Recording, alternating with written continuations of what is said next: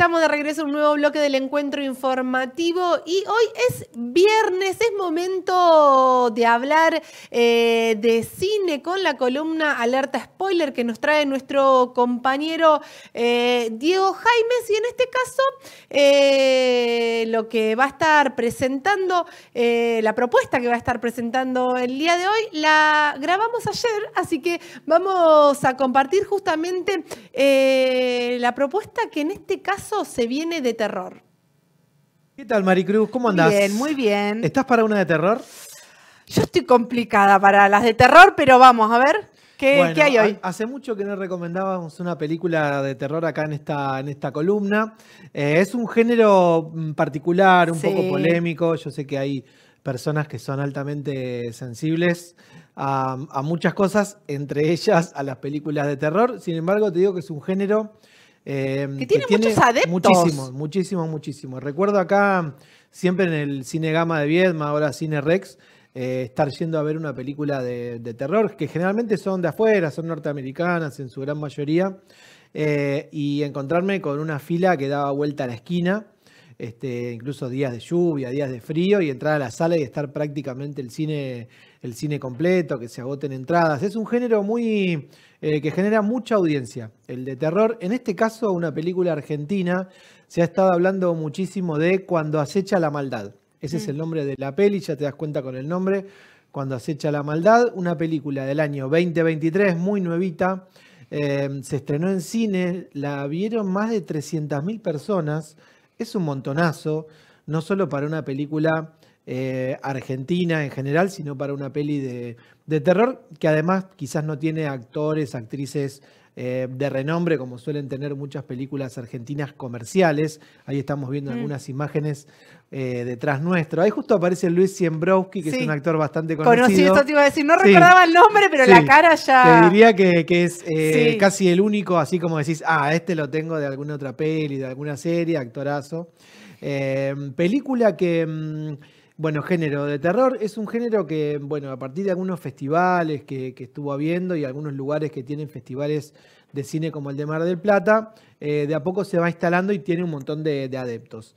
En este caso, cuando acecha la maldad, que también se puede ver en la plataforma Netflix, no te lo mm. había dicho, yo lo vi ahí de hecho, em, es una película que nos va a contar una, una, historia que ocurre prácticamente, no, no toda la película, pero prácticamente en un pueblo, en un paraje rural. De, te podría decir, no dice de dónde, pero sería como un pueblo rural o un paraje rural eh, en el campo, en alguna provincia argentina, ponerle en el interior de la provincia de Buenos Aires, donde dos hermanos, em, que son los protagonistas de, la película, eh, descubren que hay eh, una fuerza maligna, un espíritu maligno que podríamos decir algo parecido al demonio, al diablo, una fuerza maligna que hace daño a la, gente, hace mucho daño, básicamente mata personas, eh, anda dando vueltas y está encarnada en, una persona, ellos lo encuentran en una, persona dentro de un rancho, en el medio del campo, eh, y luego este espíritu, a partir de que intentan, digamos, exorcizarlo, ahí nos lleva a otras películas también muy conocidas del género de terror, en realidad empeoran la situación, este, se apuran, se desesperan y en realidad terminan complicando aún más la cosa. Entonces pasa de este pequeño paraje rural a un pueblo donde ya vive más gente, vive la familia de uno de estos hermanos, con la cual hay una situación ahí muy complicada. Eh, y corren peligro de que todavía se siga extendiendo más este, esta, esta fuerza maligna y mm, bueno, termine perjudicando a un montón de, a un montón de personas.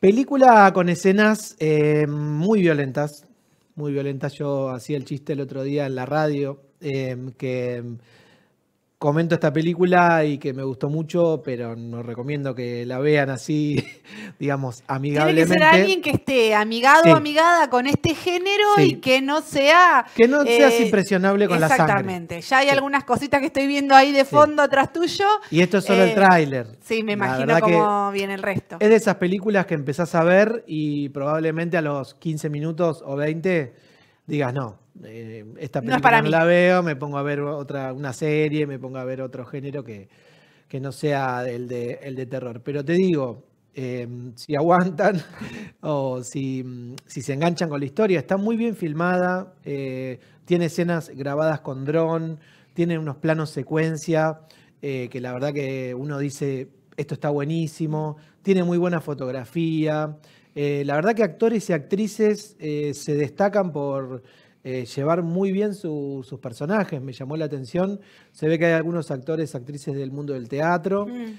Incluso hay una parte que mm, sucede en una escuela rural que le da como esa, eh, esa contradicción entre la inocencia ¿no?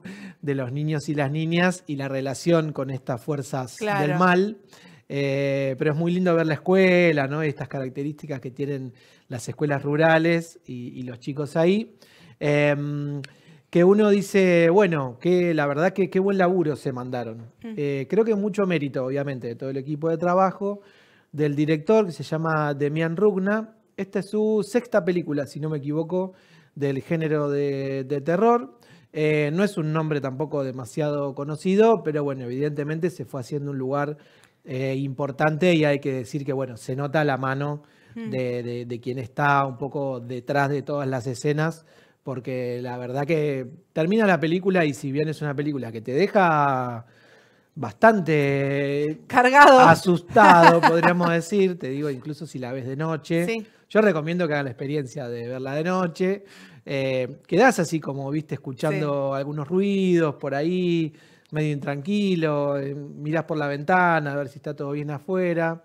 Y bueno, creo que es el efecto que quiere generar la película pero mm, no solamente el efecto de hacerte sentir un momento como de, miedo, de inquietud, como tienen muchas películas comerciales de terror, sino además contarte una historia que está muy cargada de cuestiones sociales. Bien. Eh, distintas clases sociales, cuestiones de violencia de género, este, explotación en, en, el ámbito rural. La verdad que te diría que es una película bastante, bastante completita. Eh, con algunos efectos especiales, incluso no de especiales en cuanto a ciencia ficción. Sí, sí, pero sí. que te das cuenta que hay un trabajo de que lo hacen personas eh, profesionales. Así que me, llevé una buena, mm, una buena impresión de, esta peli.